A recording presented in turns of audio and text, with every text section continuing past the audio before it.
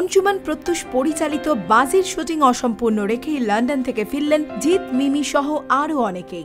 কলকাতা সল্টলেক চত্বরে হয়ে গেছিল বেশ খানিকটা শুটিং। বাকি ছিল খুব অল্প কাজ এবং সেই কারণেই বাজি টিম পৌঁছে গেছিল লন্ডনে।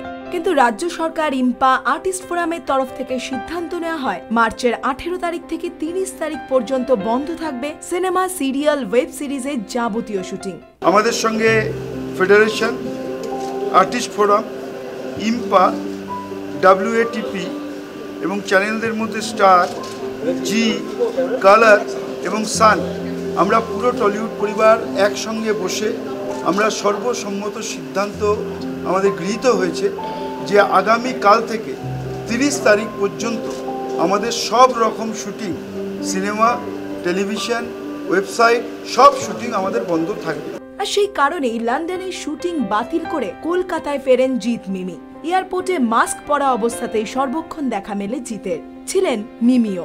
যদিও মিমি জানান লন্ডনে করোনার প্রভাব তেমন দেখেননি তিনি। নির্ঝঞ্ঝাটেই চলছিল শুটিং।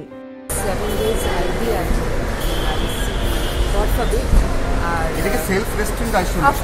আচ্ছা ওখানে সিচুয়েশনটা কি দেখি ওখানে তো খুব একটা সিচুয়েশন আমরা পাবলিক প্লেসে সিচুয়েশন দেখিনি বাট মাস্ক করে দেখতে পাই এয়ারপোর্ট